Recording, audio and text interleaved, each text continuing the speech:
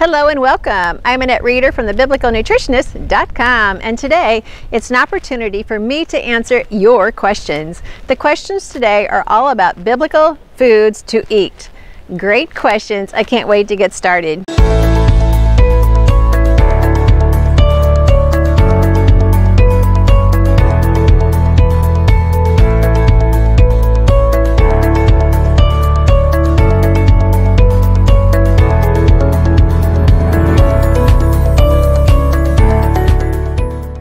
But before we do, if you would like to have your question answered, please join us in our private Facebook group, Biblical Nutrition Academy. As you enter to join that group, we're going to ask you, what's your question? Also in that group, we're going to start some monthly live Q&A calls in the Facebook group, so you can join us there. Now, if you say, Annette, I don't do Facebook, I can respect that just email info at thebiblicalnutritionist.com and say, this is my question I want Annette to answer. And we will try to get it posted here in these videos. We aren't keeping up with all of the questions, but we're working really hard to do that. So also, for those of you who have found my books on Amazon and some of the other retailers, if you have left a review, then your name gets entered into a drawing. And today, because the questions are all about food, then what we're giving away is the Amari Digest enzymes. Enzymes are just really important because many times our stomach lining, the, the leaky gut, the microbiome is just all out of whack. And we're unable to digest different types of foods like in dairy or beans or proteins. And when we have an enzyme tablet or an enzyme supplement, it actually helps us metabolize that food, break it down, and then disperse it where it needs to go. And some people are amazed at how much their health changes by taking an enzyme with each food, with each meal. It just kind of changes life. And if you are a type of person, you're like, oh, I don't eat broccoli, that, that, that causes problems later on, or I don't eat beans, well, enzyme tablets would make the big difference. So that's our giveaway today. So if you've been out there and you have left reviews for my books, be sure and stay to the end to see if you're this week's winner. Now let's get started with today's questions. Question number one, what biblical foods can I grow myself and how do I get them unaltered? Submitted by Lisa. Well, Lisa, you're the reason I'm out here in the yard. I, you're asking about biblical foods. Well, any food that God called good is going to be a biblical food. So let me share with you what I'm growing and what might work in your yard. Let me start with sharing. This is my olive tree. In the winter, I have to take it inside because it doesn't like the cold winters here in Virginia. And I don't know if we have, we had some blooms coming up, but the, the late freeze that we had this spring just took everything out of my yard and even the olive blooms. But this tree would typically give me about two quarts of olives. I'm not that big of a fan of olives, but I like doing it just for the fun of it and the conversation piece. This tree really is a little bit uh, lacking on leaves, but it'll fill out by the end of summer. It's just been a really hard spring for it. But olives is definitely something you could grow. I love having rosemary in my yard. I use it all year long. I don't even have to dehydrate it because it's always available in the garden no matter what season I'm in. Rosemary is definitely a good food. Now, this is the sad story of my garden. This is my pomegranate bush. It, yeah, it just, it has not done well since I planted it. Last year I did have two flowers and then one came into a fruit, but it didn't, it didn't all the way mature, so I didn't get it. It's just struggled. I've done everything. I've sang to it. I've read scripture. I've fertilized it every year. Just doesn't like it here. So I'm going to try it again with a new one, but that's a pomegranate tree. Now this is my kiwi vine and I can show you some kiwi right here. If you look right in there, you see those little tiny little little specks. Those are going to turn into flowers and they're going to grow into kiwi. This trellis, it grows on a trellis, so this vine should produce about 100 pounds of kiwi. It hasn't yet for me because we seem to keep running into a lot of different issues with the temperature and the early freezes in spring, but you can see we've got quite a few. Um, if you look really deep into this, you'll see we have quite a few kiwis starting on the vine. So it looks like a good year for kiwi. Two pear trees. This pear tree here, it pretty much maybe has one pear left on it. They were full of blooms, but we had such a late frost, it took out most of them. But we do have a few pears on this tree. You can see I've got one there. And we've got a few more hidden up in there. So I'm looking forward to those. And then over here, right next door, we have the persimmon tree. So this little flower looking thing right here is going to turn into a bloom and then into a persimmon. We've got quite a few on the, on the tree so far. And here we have the emerald apple tree. You can see I've already got some issues with some bugs there, but um, these are such delicious apples. They're called emerald apples and they're kind of a, a deep red green apple, very uh, crisp and very super sweet. So I love them. They don't always make it all the way to the end because I have a, um, still trying to figure out all of the pests, but it's definitely a great tree. Well, Lisa, I wasn't sure if your question was referring to the seven foods of the promised land, which is why I showed you the olives and what should be a pomegranate tree. I didn't show you the fig tree, uh, or if you just meant biblical foods in general. Biblical foods in general, we're just looking for good heirloom quality seeds. We're looking for to purchase from a store that has the same uh, same guidelines as what you're looking for. So I'm looking for non-GMO varieties. I'm looking for just good healthy plants and plants that are from a good source and a good stock. So I hope that helps. Uh, when you have, let me just give you another freebie here. So when you buy organic potatoes like a Yukon or a red, if you can get them to grow some eyes, then you could plant that and grow some potatoes just from what you had bought just for your groceries. I'm gonna show you that real quick. So these potato, these are my potato barrels here. They were all started with just starts off of the Yukon, organic Yukon potatoes I got at the grocery store. And so these barrels are going to fill with potatoes by the end of the season. And to me, I feel like it's free food. So I bought the food to, to feed my family but yet some of the potatoes didn't get you know served and, and cooked in, in, time so they created they started growing the eyes and so I just took the eyes and planted them and look I've got three barrels of potatoes and so I always like what I call free food.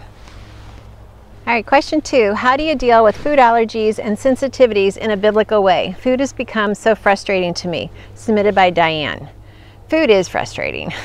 it was not supposed to be. In fact, God designed it for healing and nourishment and to be a reflection of His love for us. So, in most programs, I encourage the Daniel fast for eating or just to go without any animal products and sugar for at least three to six months. This will bring to the surface any food sensitivities. Now, you're saying you already have some. Well, it might escalate it. When we recognize them, then we can eat a really clean, natural based God food diet. And then we actually, at that point, will have a higher chance for our gut to heal. We need the healing of our gut to bring the balance back into our microbiome. Until the microbiome is populated with healthy, good bacteria, we're always going to have food sensitivities. So when we reestablish the good bacteria, we're not going to be struggling as much. So start with eliminating all animal products, I don't care where they come from, all processed foods and all sugars. And if you're eating real food and you think, oh, I just can't handle real food, it makes me upset, you know, I have issues, then you need a digestive enzyme. So realize we need to clean out the bad, we need to populate with the good, and if you can't handle too much of the good, then take a digestive enzyme so that you can.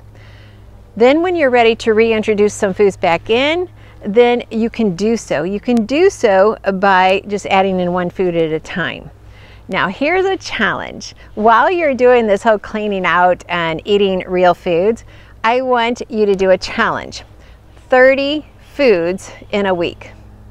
30 God-given vegetables and fruits in one week. 30 different totally different because the more diverse our microbiome is, it's called biodiversity, the stronger our immune system is. We were not created to just eat a single food like a monocrop or anything like that. And we were created to eat diverse plants and vegetables, fruits, vegetable, herbs, teas, things like that. So my goal for you is to eat 30 different foods in one week. Real food now, you can include any tea, like if you had a chamomile tea, chamomile tea, that would be one. If you had a lavender, you know, in your food, that would be another. If you had real vanilla, that would count. So you can count your herbs, your spices, and your fruits and your vegetables. 30 in a week, and your digestive system is going to say, with this feels really good. We can deal with this. And if you can't handle it because of maybe some gas or bloating, then we need to get some digestive enzymes and maybe even some pre and probiotics. But we want to create in our microbiome an environment that feeds the good bacteria. sometimes we have to use enzymes and pre and probiotics to make that happen. So then once we get a strong microbiome, you're not going to have the food sensitivities anymore. So we kind of have to work through it. It's stages and it works. So don't give up. Even if you're like, I tried that for a week and I felt sicker. You might. You might because your body's created to get rid of the bad. So you might, but stick with it. God's foods work. So thanks for asking that question. Question number three, where do you buy your grains? The hard wheat, the spelt, the hulled barley? And when you mention lentils, does it matter what type, brown or red, all of the different colors? This was submitted by Lisa, Melissa. So for those of you on my email list, I sent this all out to you with all of the links. This answer depends on where you live. First, always go to localharvest.org to find farmers and orchards and farmers markets in your area. Second, if you are near the Georgia, Southwest, South, Southwest, but Southeast area, then look up breadbeckers.com for their co-op. If you're in Virginia, we have East Coast Preppers. And then if you're on the Eastern Shore, we have Quail Cove Farms. Now, Azure Standard delivers nationwide. If you're outside of the States, then I don't know. if you're in the Midwest, there's Country Life that has a co-op. Lentils, they all cook differently. Some stay in their shape and they look so good in a salad, and others, such as the brown and the orange, they tend to become mush uh, very easily. So that's my choice on those. Question number four, please explain why flour is bad since it's made from wheat. Submitted by Christy. Good question. Flour is not bad. When we mill a grain of wheat um, or millet or barley, we get a long list of God nutrients added to the grain of wheat. And just remember, wheat is a generic term in Scripture. Jesus compares himself to the daily bread because bread was created to satisfy. It has more zinc than most supplements, and that actually works, and it has enough magnesium to calm your nerves. It has chromium to keep diabetes away. And I could just go on and on and on, and I usually do in the bread making classes.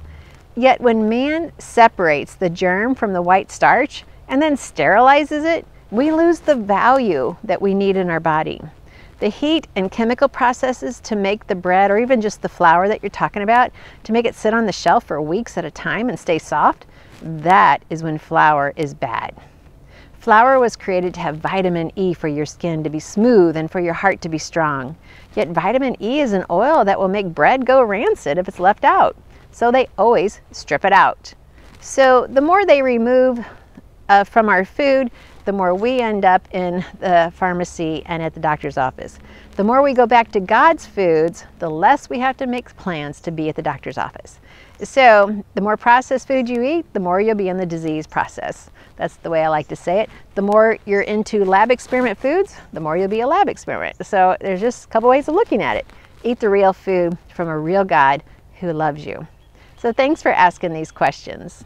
Well, today our winner is Leslie RM, and Leslie's going to get a bottle of digestive enzymes sent to her. So, Leslie, just please send an email to info at thebiblicalnutritionist.com and put in the subject line winner QA84. That way we can recognize your email. So for the rest of you though, when sometimes just like that food just irritates me, then you need an enzyme. I just don't feel good after I eat that food, then you need to try an enzyme. Sometimes it's not always in food sensitivity as we discussed. Sometimes it's just you don't have the enzymes to break it down. Well, if you take an enzyme supplement with your meal, then you can enjoy the meal and not have any back talk later or any digestive upset. It's amazing how simple this answer is. It's just because our foods are so processed and they've been so changed from God's design that our body doesn't always recognize it or it doesn't always like it. And so we can correct that by giving our body the enzymes that we need. You do take these at the beginning of each meal so that the enzymes are there and available to help uh, metabolize and break down that meal it's it's a really it's just a, a, blessing to know that enzymes that God gave us in food were designed to help us break it down and also we can have even supplemental enzymes to do the same thing. So thanks for watching. I hope you leave a, a, comment down below and hit like and subscribe and the bell so we can stay connected. And be sure and join our Facebook group, Biblical Nutrition Academy, so you can ask your question and be sure and leave some reviews for the different books on, on Amazon or our website. Thanks for watching and until next time, never, ever, ever, ever forget God loves you. He loves you and He has a purpose for your life. He has loved you from the moment of conception, and He has a purpose that is greater than you could ever imagine. And yes, some of us have done things in our life that we may have some consequences for. He doesn't erase all of that, but He loves us just the same. Always remember that. And until next time, remember that God loves you. Thanks for watching.